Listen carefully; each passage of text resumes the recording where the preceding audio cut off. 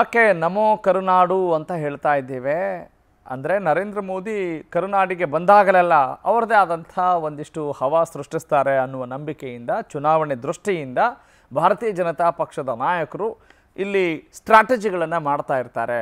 ಅಲ್ಲ ರೀ, ನಾವು ಪ್ರಜಾಪ್ರಭುತ್ವದಲ್ಲಿ ಚುನಾವಣೆಯನ್ನು ಹಬ್ಬ ಅಂತೀವಿ, ಆದರೆ ನಾವೀಗ ನೋಡ್ತಾ ಇದ್ದೀವಿ, ಯುದ್ಧಕ್ಕೆ ರೆಡಿ ಆಗ್ತಾ ಇದ್ದಾರೆ ನಮ್ಮ ರಣಕಲಿಗಳು ಅನ್ನುವ ರೀತಿಯಲ್ಲಿ ಬಿಂಬಿತವಾಗ್ತಾ ಇದೆ. ಸದ್ಯದ ವಾತಾವರಣ, ಮುಂಬರುವ ಸಾರ್ವತ್ರಿಕ ವಿಧಾನಸಭಾ ಚುನಾವಣಾ ದೃಷ್ಟಿಯಿಂದ ಈ ವಿಚಾರಗಳು ಮಹತ್ವ ಪಡೆದುಕೊಳ್ತಾ ಇದ್ದಾವೆ. ಎಂಥ ಯುದ್ಧ? ಮತಯುದ್ಧ ಯುದ್ಧ. ಯಾಕ್ರಿ ಬೇಕು ಅಲ್ವಾ? ಆದರೆ ಯುದ್ಧದ ಥರ ವಾತಾವರಣ ನಿರ್ಮಾಣ ಆಗಿದೆ. ಹೀಗಾಗಿ ಗೆಲ್ಲೋದು ಯಾರು, ಸೋಲೋದು ಯಾರು ಅನ್ನೋದಕ್ಕಿಂತ ಹೆಚ್ಚಾಗಿ ಪ್ರಜೆಗಳು ಯಾವಾಗ್ರಿ ಗೆಲ್ಲೋದು? ಬರೀ ಅಭ್ಯರ್ಥಿಗಳು ಗೆದ್ದರೆ ಸಾಕಾಗಲ್ಲ ಅನ್ನುವ ಆಶಯದೊಂದಿಗೆ ಈ ಸುದ್ದಿಯನ್ನು ನೋಡೋಣ. ಕರ್ನಾಟಕದಲ್ಲಿ ಮತ್ತೆ ನಮೋ ಮೀನಿಯಾ. ಇವತ್ತು ಪ್ರಧಾನಿ ಮೋದಿ ಮಿಂಚಿನ ಸಂಚಾರವನ್ನು ಮಾಡಲಿದ್ದಾರೆ. ಬೆಂಗಳೂರು ತುಮಕೂರಿಗೆ ಪ್ರಧಾನಿ ಮೋದಿ ಭೇಟಿ ಕೊಡ್ತಾ ಇದ್ದಾರೆ. ಒಟ್ಟು ಫ್ರೀಡಮ್ ಆಪ್ ಅಲ್ಲಿ ಕಲ್ತು ಮೀನ್ ಸಾಕಣೆ ಮಾಡ್ತಿದ್ದೀರಾ?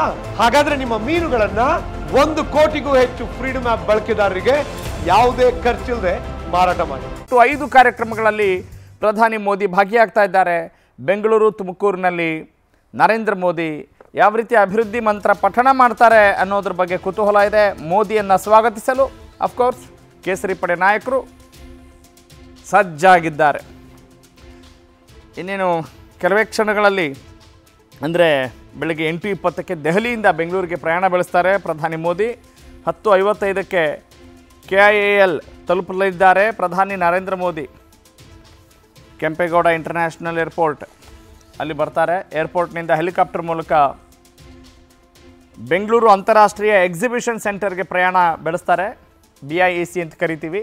ಹನ್ನೊಂದು ಇಪ್ಪತ್ತೈದಕ್ಕೆ ರಸ್ತೆ ಮೂಲಕ ಬೆಂಗಳೂರು ಅಂತಾರಾಷ್ಟ್ರೀಯ exhibition centre Bengaluru international exhibition centre ಅಂತೀವಲ್ಲ, ಅಲ್ಲಿ ಪ್ರಧಾನಿ ಮೋದಿ ತಲುಪ್ತಾರೆ. ನಂತರ ಇಂಡಿಯಾ ಎನರ್ಜಿ ವೀಕ್ ಕಾರ್ಯಕ್ರಮಕ್ಕೆ ಅವರು ಚಾಲನೆ ನೀಡ್ತಾರೆ, ಉದ್ಘಾಟಿಸ್ತಾರೆ ಆ ಕಾರ್ಯಕ್ರಮವನ್ನು. ಮಧ್ಯಾಹ್ನ ಎರಡು ಮುಕ್ಕಾಲಷ್ಟೊತ್ತಿಗೆ ಬೆಂಗಳೂರಿನಿಂದ ತುಮಕೂರಿಗೆ ಪ್ರಯಾಣ ಬೆಳೆಸ್ತಾರೆ. ಸಂಜೆ ನಾಲ್ಕು ಮೂವತ್ತಕ್ಕೆ ಎಚ್ ಎ ಎಲ್ ಹೆಲಿಕಾಪ್ಟರ್ ತಯಾರಿಕಾ ಘಟನಾ ಘಟಕದ ಉದ್ಘಾಟನೆ ಮಾಡ್ತಾರೆ. ನಂತರ ಜಲಜೀವನ್ ಮಿಷನ್ ಯೋಜನೆಗಳ ಉದ್ಘಾಟನೆ ಮಾಡ್ತಾರೆ. ಸಂಜೆ ನಾಲ್ಕು ನಲವತ್ತೈದಕ್ಕೆ ತುಮಕೂರಿನಿಂದ ಕೆಂಪೇಗೌಡ ಏರ್ಪೋರ್ಟ್ಗೆ ಪ್ರಯಾಣ ಬೆಳೆಸ್ತಾರೆ. ಸಂಜೆ ಐದು ಇಪ್ಪತ್ತಕ್ಕೆ ಏರ್ಪೋರ್ಟ್ನಿಂದ ದೆಹಲಿಗೆ ಮೋದಿ ಪ್ರಯಾಣ ಬೆಳೆಸ್ತಾರೆ. ರಾತ್ರಿ ಎಂಟು ಗಂಟೆಗೆ ದೆಹಲಿಯನ್ನು ತಲುಪಲಿದ್ದಾರೆ ಪ್ರಧಾನಿ Narendra Modi. This is all about ಪ್ರಧಾನ ಪ್ರಧಾನಿ ನರೇಂದ್ರ ಮೋದಿ. ಇವತ್ತಿನ ನರೇಂದ್ರ ಮೋದಿಯವರ ಟೈಮ್ ಟೇಬಲ್ ಯಾವ ರೀತಿ ಇದೆ? ಅನ್ನೋದನ್ನು ನೀವು ಗಮನಿಸಿದ್ರಿ. ಓಕೆ. ಮತ್ತೆ ಕರ್ನಾಡ್ ಯಾವ ರೀತಿ ಸಜ್ಜಾಗಿದೆ? ಈಗ ಪ್ರಧಾನಿ ಇಷ್ಟೊತ್ತಿಗೆ ಬರ್ತಾರೆ, ಅಲ್ಲಿ ಉದ್ಘಾಟನೆ ಮಾಡ್ತಾರೆ, ಇಲ್ಲಿ ಉದ್ಘಾಟನೆ ಮಾಡ್ತಾರೆ, ಆಮೇಲೆ ಡೆಲ್ಲಿಗೆ ಹೋಗ್ತಾರೆ. ಓಕೆ, ನಮ್ಮ ಕರ್ನಾಟಕ ಯಾವ ರೀತಿ ಸಜ್ಜಾಗಿದೆ? ಮೋದಿ ಸ್ವಾಗತಕ್ಕೆ ಕಲ್ಪತರು ನಾಡು, ತುಮಕೂರಿನಲ್ಲಿ ಖಾಕಿ ಕಟ್ಟೆಚ್ಚರ ವಹಿಸಲಾಗಿದೆ. ಬೆಳಗ್ಗೆ ಹತ್ತು ಗಂಟೆಗೆ ಮೋದಿ ಆಗಮನ ಹಿನ್ನೆಲೆಯಲ್ಲಿ ಸಿಲಿಕಾನ್ ಸಿಟಿ ಬೆಂಗಳೂರಿನಲ್ಲೂ ಕೂಡ ಬಿಗಿ ಬಂದೋಬಸ್ತ್ ಕೈಗೊಳ್ಳಬೇಕಾಗತ್ತೆ ಕೈಗೊಳ್ತಾ ಇದ್ದಾರೆ ಅನ್ನೋ ಮಾಹಿತಿ ಇದೆ.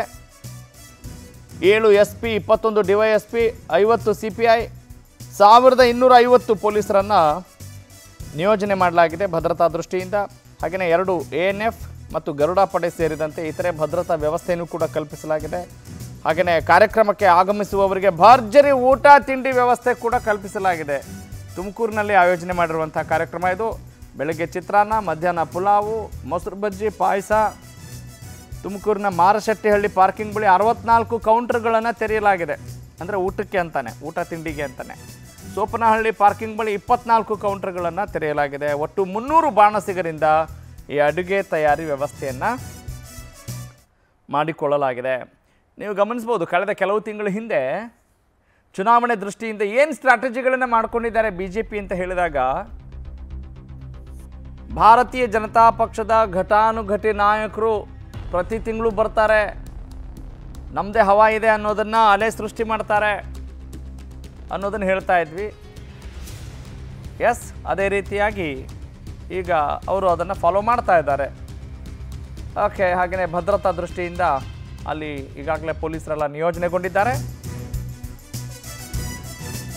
ಇನ್ನು ತುಮಕೂರಲ್ಲಿ ಬೃಹತ್ ವೇದಿಕೆ ಸಿದ್ಧವಾಗಿದೆ. ಕಲ್ಪತರು ನಾಡಿನಲ್ಲಿ ಪ್ರಧಾನಿ ಮೋದಿ ಕುಳಿತುಕೊಳ್ಳುವ ವೇದಿಕೆ ಹತ್ತು ಅಡಿ ಎತ್ತರದಲ್ಲಿರುತ್ತೆ.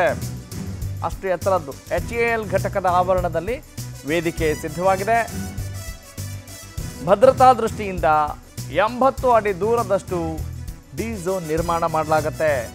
ಡಿ ಝೋನ್ ನಂತರ ಮಾಧ್ಯಮ ಹಾಗೂ ವಿ ವಿ ಐ ಪಿ ಆಸನಗಳ ವ್ಯವಸ್ಥೆ ಕಲ್ಪಿಸಲಾಗುತ್ತೆ. ಅಂದರೆ ಹೇಗಿದೆ ಅಲ್ಲಿ? ಯಾವ ರೀತಿಯಲ್ಲಿ ವ್ಯವಸ್ಥೆ ಕಲ್ಪಿಸಲಾಗುತ್ತೆ ಅನ್ನೋದನ್ನು ನೀವು ನೋಡ್ಬೋದು. Thousand five hundred very important person very very important person ಕುಳಿತುಕೊಳ್ಳೋಕ್ಕೆ ವಿಶೇಷ ಆಸನ ವ್ಯವಸ್ಥೆಯನ್ನು ಮಾಡಲಾಗಿದೆ. ನಂತರ ಜನಸಾಮಾನ್ಯರು ಕುಳಿತುಕೊಳ್ಳೋಕೆ ಆಸನದ ವ್ಯವಸ್ಥೆ ಕಲ್ಪಿಸಲಾಗಿದೆ. ಪ್ರತಿ ಎರಡು ಸಾವಿರ ಜನರಿಗೆ ನೋಡೋಕೆ ಅನುಕೂಲವಾಗುವಂತೆ ಅರವತ್ತು ಎಲ್ ಇ ಡಿ ವಾಲ್ ಅಳವಡಿಕೆ ಮಾಡಲಾಗಿದೆ. ಎಲ್ಲರಿಗೂ ಮೋದಿ ಭಾಷಣ ಕೇಳೋಕೆ, ಅವರನ್ನು ನೋಡೋಕೆ ಅನುಕೂಲವಾಗುವಂಥ ರೀತಿಯಲ್ಲಿ ಬಹಳ ಸುವ್ಯವಸ್ಥೆಯಿಂದ ಭದ್ರತೆಗಳನ್ನು ಇಲ್ಲಿ ಕಲ್ಪಿಸಲಾಗಿದೆ. ನೋಡ್ತಾ ಇದ್ದೀರಿ, ಅಲ್ಲಿ V V I P V I P ಆಸನಗಳೆಲ್ಲ ಯಾವ ರೀತಿ ತಯಾರಾಗಿದ್ದಾವೆ ಅಂತ ಹೇಳಿ this all all about the system okay ಪ್ರಧಾನಿ ನರೇಂದ್ರ ಮೋದಿ ತುಮಕೂರಿಗೆ ಆಗಮಿಸ್ತಾ ಇರೋ ಹಿನ್ನೆಲೆಯಲ್ಲಿ ಅವ್ರು ಬರ್ತಾ ಇದ್ದಾರೆ ಅಂತ ಹೇಳಿದಾಗ ಸಹಜ ಪ್ರಧಾನಿ ಅಲ್ವೇ? ಯಾವುದೇ ಪ್ರಧಾನಿ ಬಂದರೂ ಕೂಡ ಅದೇ ರೀತಿಯಾದಂಥ ಒಂದು ಸಕಲ ಸಿದ್ಧತೆಗಳನ್ನು ಮಾಡ್ಕೊಳ್ಬೇಕು, ಮಾಡ್ಕೊಳ್ತಾ ಇದ್ದಾರೆ. ಗುಬ್ಬಿ ತಾಲೂಕು ಬಿದಗೆರೆ, ಬಿದಿರೆಗೆರೆ, ಬಿದಿರೆಗಳ್ಳಿ ಕಾವಲ್ ಬಳಿ ಇರೋ ಎಚ್ ಎ ಎಲ್. ಅಲ್ಲಿ ಇವತ್ತು ಒಂದು ಉದ್ಘಾಟನಾ ಕಾರ್ಯಕ್ರಮ. ಎಚ್ ಎ ಎಲ್ ಉದ್ಘಾಟನಾ ಕಾರ್ಯಕ್ರಮದ ಜೊತೆ ಕಲ್ಪತರು ನಾಡಲ್ಲಿ ಬಿಜೆಪಿ ಶಕ್ತಿ ಪ್ರದರ್ಶನ ಮಾಡಲಿದೆ.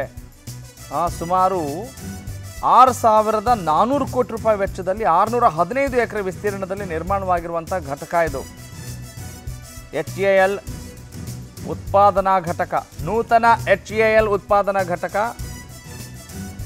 ಬಿದರೆಹಳ್ಳ ಕಾವಲ್ ಬಳಿ ಇರುವಂಥ, ನಿರ್ಮಾಣವಾಗ್ತಾ ಇರುವಂಥ ನೂತನ ಎಚ್ ಎ ಎಲ್ ಉದ್ಬಾ, ಉತ್ಪಾದನಾ ಘಟಕ. ಓಕೆ. ಈ ಉದ್ಘಾಟನೆ ಕಾರ್ಯಕ್ರಮ ನೆಪದಲ್ಲಿ ಕಲ್ಪತರು ನಾಡಲ್ಲಿ ಬಿ ಜೆ ಪಿ ಶಕ್ತಿ ಪ್ರದರ್ಶನವನ್ನು ಮಾಡ್ತಾ ಇದೆ ಅನ್ನೋದು ರಾಜಕೀಯ ಲೆಕ್ಕಾಚಾರ. ಓಕೆ ಎಲ್ಲ ವಿಚಾರಗಳಿಗೆ ಸಂಬಂಧಪಟ್ಟ ಹಾಗೆ ನನ್ನ ಸಹೋದ್ಯೋಗಿ ನಮ್ಮ ತುಮಕೂರು ಪ್ರತಿನಿಧಿ ಹೇಮಂತ್ ಕುಮಾರ್ ರೆಡಿಯಾಗಿದ್ದಾರೆ ಬಹಳ ಶಿಸ್ತಿನ ಸಿಪಾಯಿ ಥರ ಕಾಣ್ತಾ ಇದ್ದಾರೆ Hemant. Hemant very good morning very good morning Raghav ಏನು ಸ್ಪೆಷಲ್ಲು ಮೋದಿ ಬರ್ತಾರೆ ಅಂದ ತಕ್ಷಣವೇ ಒಂದು ರೀತಿ ಪ್ರಧಾನಿ ಬರ್ತಾರೆ.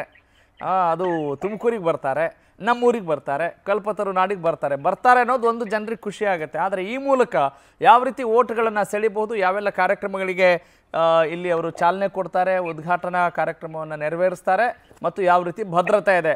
ಗೋ ಹ್ಯಾಡ್ ಓವರ್ ಆಲ್ ಖಂಡಿತ ರಾಘವ್ ಸೂರ್ಯ, ಏನು ಮೋದಿ ತುಮಕೂರಿಗೆ ಆಗಮಿಸ್ತಾರೆ ಅನ್ನೋಂಥದ್ದು ಒಂದ್ ಕಡೆ ಆದ್ರೆ ಮತ್ತೊಂದ್ ಕಡೆ ಬಿಜೆಪಿ ಅವರು ಸರ್ಕಾರದ ಕಾರ್ಯಕ್ರಮದ ಮೂಲಕ ತಮ್ಮ ಶಕ್ತಿ ಪ್ರದರ್ಶನವನ್ನು ಮಾಡ್ಲಿಕ್ಕೆ ಮುಂದಾಗಿರುವಂತದ್ದು ಏನು ತುಮಕೂರು ಜಿಲ್ಲೆಯಲ್ಲಿ ಹನ್ನೊಂದು ವಿಧಾನಸಭಾ ಕ್ಷೇತ್ರಗಳಿದ್ದಾವೆ. ಈ ಹನ್ನೊಂದು ವಿಧಾನಸಭಾ ಕ್ಷೇತ್ರಗಳಲ್ಲಿ ಈಗ ಗೆದ್ದಿರುವಂತದ್ದು ಕೇವಲ ಐದು ವಿಧಾನಸಭಾ ಕ್ಷೇತ್ರಗಳು ಮಾತ್ರ. ಈ ಉಳಿಕೆ ಆರು ವಿಧಾನಸಭಾ ಕ್ಷೇತ್ರಗಳನ್ನ ಗೆಲ್ಲೋ ನಿಟ್ಟಿನಲ್ಲಿ ಈ ಏನೆಲ್ಲ ಸಿದ್ಧತೆಯನ್ನ ಮಾಡಬೇಕು ಅದನ್ನ ಈಗ ಸಿದ್ಧತೆಯನ್ನ ಮಾಡ್ಕೊಂತ ಇರೋದು. ಸುಮಾರು ಮುನ್ನೂರಕ್ಕೂ ಹೆಚ್ಚು ಬಸ್ಗಳ ಮೂಲಕ ಏನು ಹನ್ನೊಂದು ಕ್ಷೇತ್ರಗಳಿಂದಲೂ ಸಹ ಮೋದಿಯನ್ನ ನೋಡಲಿಕ್ಕೆ ಕಾರ್ಯಕರ್ತರನ್ನ ಕರೆದುಕೊಂಡು ಗುಬ್ಬಿಗೆ ಬರ್ತಾ ಇರುವಂತದ್ದು ಏನು ಇಲ್ಲಿ ನೋಡುವಂತದ್ದಾದ್ರೆ ಸುಮಾರು ಆರ್ನೂ ಆರ್ ಸಾವಿರದ ನಾನ್ನೂರು ಕೋಟಿ ವೆಚ್ಚದಲ್ಲಿ ಸುಮಾರು ಆರ್ನೂರ ಹದಿನೈದು ಎಕರೆ ಜಮೀನಿನಲ್ಲಿ ಏನ್ ನಿರ್ಮಾಣ ಆಗಿದೆ ಎಚ್ ಎ ಎಲ್ನ ಘಟಕ. ಈ ಒಂದು ಘಟಕಕ್ಕೆ ಇವತ್ತು ಉದ್ಘಾಟನೆಯನ್ನು ಮಾಡ್ಲಿಕ್ಕೆ ಮೋದಿ ಅವರು ಸುಮಾರು ಮೂರು ಮೂವತ್ತಕ್ಕೆ ತುಮಕೂರಿಗೆ ಬರ್ತಾ ಇರುವಂತದ್ದು ಸುಮಾರು ಒಂದು ಲಕ್ಷ ಜನ ಸೇರ್ಲಿಕ್ಕೆ ಬಿಜೆಪಿಯ ಕಾ, ಮುಖಂಡರುಗಳು ಸಿದ್ಧತೆಯನ್ನ ಮಾಡ್ಕೊಂಡಿರುವಂತದ್ದು. ಏನು ಜಲಜೀವನ್ ಮಿಷನ್ ಇದೆ. ಇದಾದ ಬಳಿಕ ಜಲಜೀವನ್ ಮಿಷನ್ ಇದೆ. ಈ ಒಂದು ಜಲಜೀವನ್ ಮಿಷನ್ನಲ್ಲಿ ತಿಪ್ಟೂರು ಮತ್ತೆ ಚಿಕ್ಕನಾಯಕನಹಳ್ಳಿ ಭಾಗಗಳಿಗೆ ಅತಿ ಹೆಚ್ಚಿನ ಸೌಲಭ್ಯವನ್ನ ಕೊಡ್ಲಿಕ್ಕೆ ಅಂತ ಹೇಳಿ ಸಿದ್ಧ ಮಾಡಿರುವಂತದ್ದು ಮತ್ತೆ ಅವರಿಗೆ ನೀರನ್ನ ಒದಗಿಸ್ಲಿಕ್ಕೆ ಅಂತ ಹೇಳಿ ಈ ಯೋಜನೆಯನ್ನ ಸಿದ್ಧ ಮಾಡಿರುವಂತದ್ದು. ಪ್ರಮುಖವಾಗಿ ಏನು ಬಿ ಸಿ ನಾಗೇಶ್ ಅವ್ರ ಮೇಲೆ ಮತ್ತೆ ಚಿಕ್ಕನಾಯಕನಹಳ್ಳಿ ಮಾಧುಸ್ವಾಮಿ ಅವ್ರ ಮೇಲೆ ಅಸಮಾಧಾನ ಇದೆ ಜನರಲ್ಲಿ. ಆ ಒಂದು ಅಸಮಾಧಾನವನ್ನ ಶಮನ ಮಾಡ್ಲಿಕ್ಕೆ ಈ ರೀತಿಯ ಒಂದು ತಂತ್ರಗಾರಿಕೆಯನ್ನ ಮಾಡಿದ್ದಾರೆ ಅನ್ನುವಂಥದ್ದು ಆ ಕೇಳಿ ಬರ್ತಾ ಇರುವಂತದ್ದು ಯಾಕಂತಂದ್ರೆ ಏನು ಈಗಾಗ್ಲೇ ನಾವು ತಿಳಿದಿರೋ ಹಾಗೆ Hemant Hemant Hemant got it Hemant got it ಈಗ ಬಿ ಜೆ ಪಿ ಆಗಿರ್ಬಹುದು, ಯಾವುದೇ ಪಕ್ಷ ಆಗಿರ್ಬೋದು ಸ್ಟ್ರಾಟಜಿಗಳನ್ನು ಮಾಡ್ತಾರೆ ಚುನಾವಣಾ ದೃಷ್ಟಿಯಿಂದ. ದಟ್ಸ್ ದ್ಯಾರ್ ಡ್ಯೂಟಿ ಆದರೆ ನಾನು ಕೇಳ್ತೀನಿ, ಪ್ರಧಾನಿ ಬಂದ ತಕ್ಷಣವೇ ಅಲ್ಲಿ ಚಿಕ್ಕನಾಯಕನಹಳ್ಳಿ ಇರ್ಬೋದು ಅಥವಾ ಇನ್ಯಾವುದೇ ಹಳ್ಳಿ ಇರ್ಬೋದು, ಅಲ್ಲಿ ಯಾವುದೇ ಸಚಿವರು ಇರ್ಬೋದು, ಶಾಸಕರು ಇರ್ಬೋದು, ಅವರ ಪರವಾಗಿರುವಂಥ ಅಲೆ ಟ್ರಾನ್ಸ್ಫರ್ ಆಗಿಬಿಡುತ್ತೆ ಅನಿಸುತ್ತಾ? ಅವ್ರ ಬಗ್ಗೆ ವಿರೋಧಿ ಅಲೆ ಇದ್ದರೆ ಅವರ ಪರವಾದಂಥ ಅಲೆ ಸೃಷ್ಟಿಯಾಗುತ್ತೆ ಅನ್ನೋ ನಂಬಿಕೆ ಜನರಲ್ಲಿ ಇರುತ್ತೆ ಅಂತ ಅನ್ಸುತ್ತಾ? ಪರವಾದ ಅಲೆ ಅಲ್ದಲೇ ಇದ್ರು ರಾಘವ್ ಸೂರ್ಯ ಏನು ಮೋದಿ ಅನ್ನುವಂಥದ್ದು ಒಂದು ಮೇನಿಯಾ ಆಗಿದೆ. ಇವತ್ತಿನ ಟ್ರೆಂಡ್ಗೆ, ಯುವಕರಿಗೆ ಮತ್ತೆ ಇವ್ರಿಗೆ.